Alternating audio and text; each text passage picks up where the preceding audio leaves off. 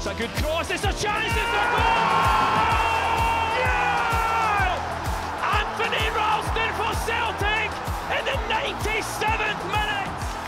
Anthony, a trip to Dingwall up next in the Scottish Premiership. You were the hero there back in December. Take us back to that moment when you scored that last minute header that gave Celtic all three points.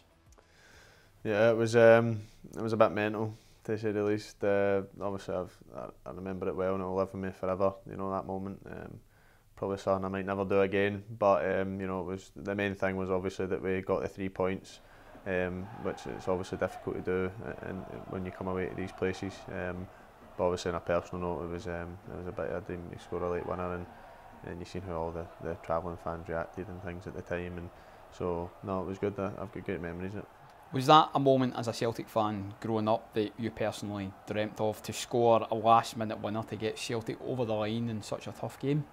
Yeah, you know, it's uh, it's obviously something especially growing up that you always you've either watched yourself and you, you know you think oh I wish that you know that could be me one day you know so for sure and you know you never expect it to happen you know it's just uh, you know the ball Um, Tom's hung up a great cross, and I found myself in the position and was able to just put it in. You know, and, um, and it was it was quite it was carnage after that. But um, again, great memories that will live me forever.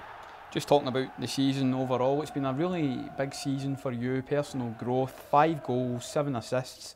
That's a brilliant return and a contribution you must be delighted with, Anthony.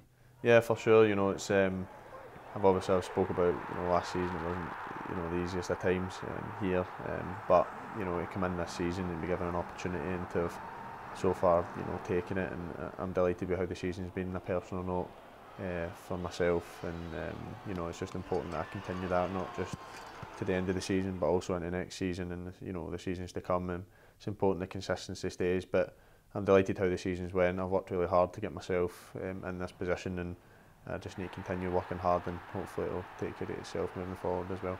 You're competing with Josip Juranovic for that right back position at the minute. Is that something that you personally thrive on, that level of competition? Yeah, it's important that, you know, in, in all areas and all positions that you have competition. Um, me and Jura have, um, you know, we support each other in every way. You know, when, when Jura's playing, I support him to the max and he does the same with me. We've got a great um, relationship as well. Um, so it's important and it pushes each each each other on, you know, um, to, to keep pushing yourself in training to play. You know, we all want to play. Um, and it's, it's really important that we have that in the team. We do have that in a healthy way. Obviously, there was disappointment last weekend, Anthony, but is it important to have that perspective that the captain was speaking about and now to really focus on the game at the weekend and hopefully make this a memorable season after all? yeah, you know, we're extremely disappointed. Um, uh, everyone is in, as a team um, on, on last week, but you know, it's done now and it's important that we focus on the next game, which is Sunday, and it's an important game. Um, as well as the next, you know, the four after that are as well. So um, that's our focus now. Um, it's done, and we, we put it to bed, and we we focus now on the upcoming game, and, and that's what we're all doing.